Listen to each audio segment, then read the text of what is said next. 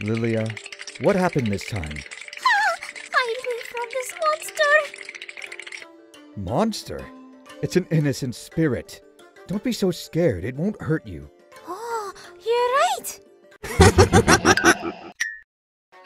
It's the devil himself!